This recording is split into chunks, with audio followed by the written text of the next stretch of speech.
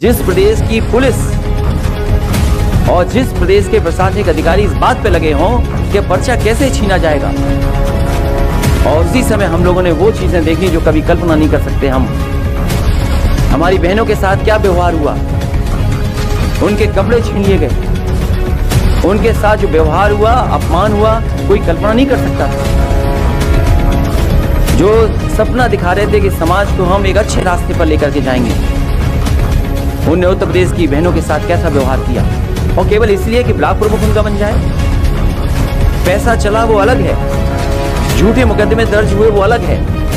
गंभीर धाराओं में लोगों को घर पर नहीं रहने दे या वो अलग बात है। और सोचिए, खुशी कैसे मनाई जा रही है? लोकतंत्र की धज्जियाँ उड़ा करके लड्डू खाए जा रहे हैं।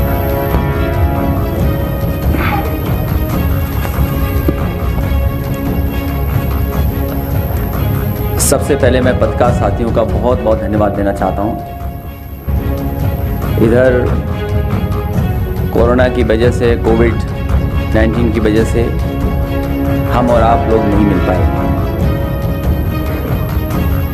और उस दौरान जो हमने, आपने देखा, शायद ही दुनिया में ऐसा कहीं हुआ होगा, जिस तरीके की लोगों को तकलीफ़ और परेशानियों का सामना करना पड़ा। और एक ऐसा समय आया जब लगा ही नहीं कि उत्तर प्रदेश में कोई सरकार है। लोगों को अपने हाल पे छोड़ दिया। जो तस्वीरें आपके माध्यम से पूरे प्रदेश और देश में पहुँची, लोग भागते नज़र आए। लोग दवाई का इंतज़ाम करते रहे। दवाइयाँ ब्लैक हुई। लोगों को बिस्तर नहीं मिले। ऑक्सीजन के लिए दर दर भटकना पड़ा।